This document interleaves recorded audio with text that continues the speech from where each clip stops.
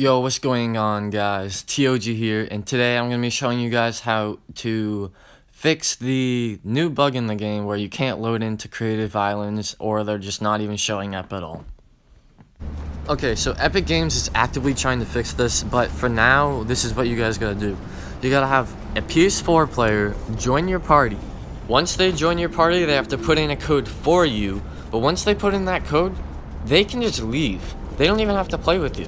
You could just beg them or pay them or something. Have them put in the code, then they can leave, and then for the whole time you're on Fortnite, you can put in codes for yourself until you log off. Then you're gonna have to have someone do this again for you. As you can see right there, I just put in the code for myself, and I'm on Xbox. So, yeah. If this glitch helps you, make sure you guys like and subscribe. It literally means the world to me. If it doesn't, I'm extremely sorry. I'll comment below and I'll try to figure out what you're doing wrong. And yeah, that's really it, guys. Thank you so much for watching. Peace.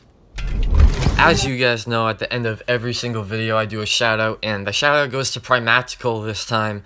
He just showed up to my channel yesterday. He commented done, he got entered the shout out, and he won. It's just that simple. I put every single name that comments done into a random generator, but they have to subscribe to the person on the screen.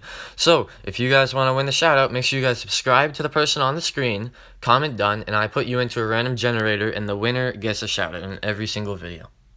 The link will always be in the description. Hope you guys enjoyed. Thanks.